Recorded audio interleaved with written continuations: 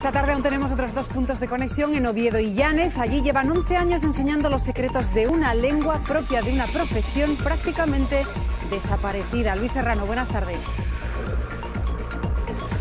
Sida Brota, Zancañera, ¿qué quiero decir? Buenas tardes, compañera. ¿Qué tal, María? Asturias. Hoy estamos en Nueva de Llanes para seguir aprendiendo, cómo no, de una de las cinco jergas gremiales. Hablamos de la síriga y lo hacemos con quien realmente saben, con quien fueron tejeros, porque esa lengua nació arriba, en los tellaos.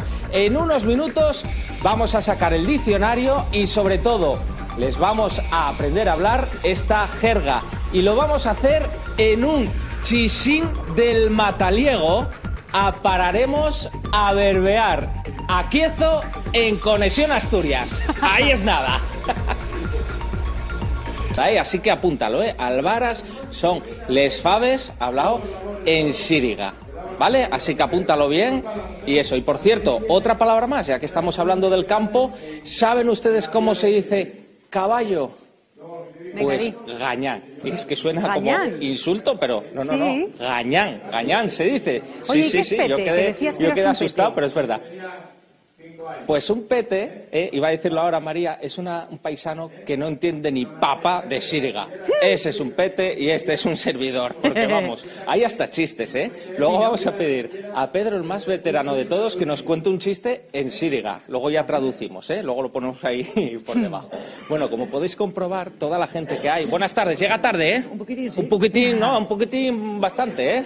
Eh, No, no riño, no riño, no riño. Con todo el amor del mundo. Que como decimos, vemos eh, bastante gente. Porque Madre claro, mía, sí. yo contaba, y, y os lo digo en serio, eh, contaba con 8 o 10 personas y en las clases hay más de 30 personas. Hoy no han podido estar todos, porque hay gente que trabaja y demás, que normalmente se da la clase a partir de las ocho y media de la tarde por el trabajo uno y otro, y aquí la gente que ha podido escaparse antes para estar con nosotros. Y vemos todo tipo de, de gente, paisanos, paisanas, jóvenes incluso, que los tenemos por ahí al fondo, o incluso aquí esta rubia que tenemos aquí, que dice a mí no me saques, no me saques, pues también, ahí está. Por cierto, ¿sabes decirme, no me saques en la tele en Siriga? Uy. Lo dejamos para la segunda conexión. Vete buscando ahí, si te parece, en el diccionario. ¿eh? No me saques en la tele en, en Siriga.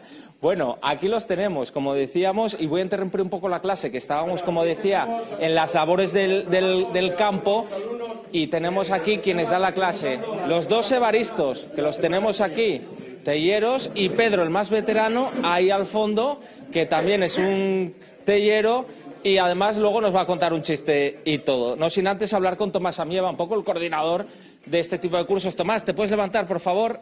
Así damos un pequeño respiro a la clase. Muy buenas tardes. Muy buenas. Ponte para acá, que te vean todos la mar de guapo. Desde el año 2007 realizando este tipo de cursos. Y esto no decae, al contrario, esto va más. Sí, aquí la tienes la prueba. Empe- La primera vez que se nos ocurrió hacer un taller de síriga, ¿eh? tenemos que decir taller y no curso porque no hay nadie que sea maestro que pueda dar un curso, entonces nosotros lo denominamos taller. ¿eh? Hablamos, eh, damos nuestras opiniones. ¿eh? Esto surgió en Llanes con el director de la Casa de la Cultura, Higinio del Río, que era cliente habitual del chigre que tenía yo en aquella época. Y un día, pues, Higinio por la parte de fuera, yo por la parte de dentro, y un Yayu Shidu en medio. Oye, ¿por qué no hacemos esto? Y tira para adelante. ¿Cómo hacerlo? Pues nos ayudamos de Evaristo Concha, Evaristo Celorio, eh, Pedro, Pedro. Pedro Gutiérrez, de aquella contábamos también con Juanito Remis y Ríos, y Juan Ríos, dos señores de Villaormes también, que ya no pueden venir con nosotros porque ya son demasiado mayorinos, ya no nos pueden acompañar. Y así empezamos. Bueno, Empezamos el primer año, pues éramos 25, 24, 25 y tal, y poco a poco fue a más, fue a más, fue a más. Y estuvimos durante 10 años haciéndolos en, en la Casa de la Cultura en Llanes. vamos a enseñar ¿Eh? la foto. Mira, voy Esta a ponerla foto así. es del, del segundo taller, que es, no, del primero. segundo. Del primero. Espera, están aquí Bueno, discutiendo, pero discutir en Siriga, ¿eh? De los Del comienzos. primero. El En primero, bueno, De los comienzos, claro. Vamos a... Espera, déjamelo así. Enseñamos. Eso es el, el primer taller de Siriga en la Casa de la Cultura en Llanes. ¿Eh? Y estuvimos durante 10 años haciéndolo en Llanes hace dos años, por problemas de, organización y problemas de trabajo, bueno, pues nos dijeron que, que no nos lo podían hacer allí, entonces vinimos aquí y ahora lo estamos haciendo en Nueva. Y ahí además contábamos siempre con Ramón Melijosa, este se eh, libró de la tellera y se metió peluquero, de, una familia donde todos eran telleros. ¿eh? Y dentro de su peluquería él seguía hablando la síriga, él seguía en contacto con toda la gente cuando venía de la tellera, iba a cortarles el pelo, ¿eh? y él consiguió hacer un diccionario de síriga. Que el que tenemos aquí en la mano. Y es el primero que está hecho en castellano síriga, cuando todo lo que se había hecho antes era al revés, síriga castellano. Déjamelo a mí, porque esto, empezáis aquí a, hablar y claro, yo no me entero y prefiero tener esto en la mano. Yo sí que es déjote el micrófono, porque hablas y hablas y hablas y han pasado los cinco minutos de la conexión. Bueno, Tomás. Bueno, pues para la siguiente Ya te vale.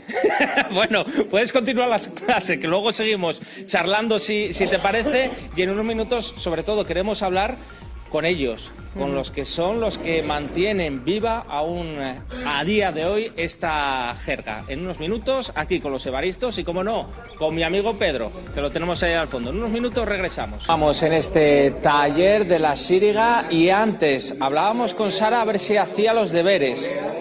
El tema, si sabía, si se atrevía a decirme, no me saques en televisión. E hizo los deberes. Sara, ¿cómo llega? Onia apárome en el bisonteador de gacheces. Bisonteador significa televisión. Televisión, bisonteador de gacheces. Ahí está, bisonteador de gacheces. Bueno, muy bien, muchas gracias, ¿eh? Oye, alumnos aplicados, pero yo también, ¿eh? María, si yo te digo, déjame ver la chuleta, ¿eh? María, egun aparas sida ascode, ¿qué te estoy diciendo? Ustedes piensen, a ver qué significa. Luis Serrano y que no hemos entendido ni castaña, para que nos vamos a engañar, pero dinos exactamente, porque nos tienes así como, ¿qué querrá decir? Pues te estaba diciendo María que esta tarde venías muy guapa. Que también, oye, los tejeros lanzaban piropos, claro. Ahí está, ahí lo tienes. Aunque yo me quedo con la frase de Sara, con lo de bisonteador de gacheces. Que claro, digo, y no me saques en televisión, pero claro, es que bisontador de gacheces, el tema de gacheces son mentiras. ¡Ay! Ahí ya me escoció. ¿Cómo que mentiras? La tele no cuenta mentiras. No, cuenta, la verdad. mentira. No me mires así, Sara. Eh, eh. Bueno, también es verdad. Pero bueno, a mí me llamó mucho la atención de bisontador de gacheces a la hora de decirlo. Sara, por cierto, ¿por qué estás en este curso? ¿Qué te motivó? Pues llevo ya cinco años. Y bueno, porque mi abuela siempre escuché palabras sueltas así que las decía. Ella no fue tejera ni tuvo familias en tejera, pero antiguamente eso, se mezclaban muchas palabras con, de la síriga. Y bueno, me enteré que había un curso en la Casa Cultura y, y para allá fui. Y ya llevo seis años, cinco y ya estoy el de seis. Olé. Y seguirá, y seguirá. Oye, es, es complicado, ¿eh? Sí, sí, bueno, un poco sí. Son 700 palabras, pero oye, hay que... Es complicado, sí. Sí, sí. Pues hay que seguir, hay que seguir. Son palabras tomadas prestadas del castellano e incluso dándoles un poco la vuelta. Hay palabras también que se toman o que utilizamos del asturiano como atropar, por ejemplo, que es ajuntar. Eh, hay muchas palabras, o incluso, lógicamente, que combinan con el euskera. Sargadúa, la sidra, que se dice en siriga, pero también se dice en el euskera. Y quien saben son, lógicamente, los tejeros, que están contando aquí historias que, claro, por eso tienen la clase llena a rebosar, que hay muy pocas sillas vacías. Y por culpa de estos hombres. Tenemos ahí a Pedro el veterano, que ahora voy a ir con él para que nos cuente el chiste, no sin antes hablar con la pareja de Evaristos. Aquí los tengo. Muy buenas tardes. Buenas tardes. Bueno, la verdad que presta a dar clases con el aula llena, ¿eh? Hombre, eso es lo principal. y, cada vez más. Y digo yo, ¿cómo enseñáis? Es decir, ¿vais directamente a las palabras, contáis historias o cómo lo hacéis? Se cuentan la historia de lo que pasó en la tejera y se va a las, a las palabras que hay escritas. Ajá. Ese es el secreto, ¿eh? Ese es el secreto. Claro, claro, ahí está. Que decía yo lo de bisontador de gacheces, a mí me pilló ahí Sara, ¿eh? Sí. Ah, lo, de, lo de las mentiras. Sí. Pero bueno, que quiero irme eh, hacia Pedro, que tiene... ¿qué? ¿Cuántos años? Pedro, ¿cuántos años tiene? 90. 90 años y te ha hecho un chaval. A ver, Pues oye, sí. arrodíllame. Pedro, ¿cómo ¿cómo oye lo que estaba usted contando antes de la historia de los telleros?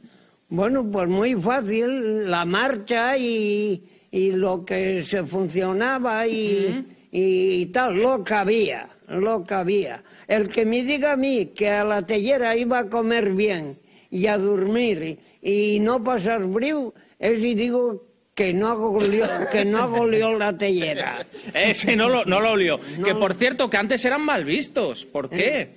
Bueno, más listos en un sentido.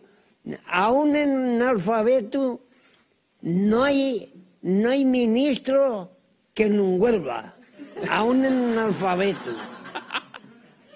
¿Eh? Porque están siempre con la desconfianza. Ahí está. Y entonces, en 25 llevan tres. Que le digo yo que antes de decir asturiano, la gente... ¡Uy! ¿O qué? Ya. El- los asturianos teníamos muy mala fama. ¿Pero por qué? ¿Por qué si yo? Por dinamiteros, por guerreros, por, por la Casa Santa. Había, yo lo puedo decir muy alto, Sí. estuve con una gente de, de, de Niembro que fue 27 veces a misa. Me sentaba en el banco de adelante, aquí tengo un nieto presente, en el banco de adelante con el padre del cura, con el veterinario y con el juez, en el banco de adelante. Y en la mesa que yo comía, cada día que iba a misa, ponía un repico. bueno, bueno, bueno, en sí. las quintanillas Sí. de Burgos. Sí, no, si si seguimos, Pedro, sigue y sigue y sigue. Oye, le damos un aplauso, Y qué por gusto favor. escucharle. Porque toda una... Claro que da gusto. Yo me quedaba aquí y tiene historias, historias para, vamos, para no aburrir. Bueno, vamos a dejarlo aquí. Pedro, que continúe muchos años enseñando la síriga, ¿eh? Y contando su historia. eh, de muchas cosas. Y contando historias. Ya, ya, ya se me van. Hay otra historia, por ejemplo, de, de lo- de los callejos. Pedro, esta me la va a contar, si le parece, el próximo curso. Bueno. ¿Quedamos en eso? Vale. Venga. Cantamos una canción en Síriga para el, para el curso que viene también. Eso, vamos a cantar. Ah, y el chiste, por cierto, el chiste, el chiste que se me quedaba. Ay. Por favor, darme un minutín más. Cuénteme el chiste que me contó antes, en Síriga. Ah, pues yo ya no, ya no me recuerdo. Que- Eh, el del enterrador que le dijo al muerto. Ese. Ah. Ese. Ponte curioso que el viaje es largo. Pero en Síriga. ¿Eh? En Síriga, ¿cómo oye? ¿Qué le dijo? Pon- Eso. pon- ponte sido que la elastición es muy arangue. Ahí está. La traducción. Que te pongas guapo, que el viaje es muy largo. Ahí está, ahí está. Bueno, Pedro, muchísimas gracias, ¿eh? Que conserve usted la salud y el buen humor, no solo a Pedro, sino también a los evaristos. Lo dejamos aquí, seguimos Sí. aprendiendo síriga y ojalá podamos seguir aprendiendo de ellos durante muchísimos años más. Tres siglos de historia. Ahí es nada, ¿eh?